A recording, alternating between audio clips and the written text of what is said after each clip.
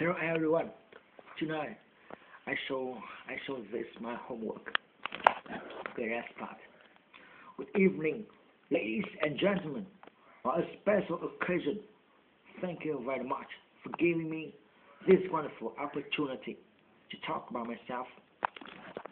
I consider it a great honor to be invited to speak here.